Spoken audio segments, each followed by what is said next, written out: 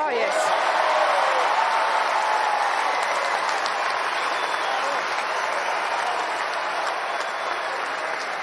Danilovic had to cover a lot of court here and great awareness here running back for the lob, but also here.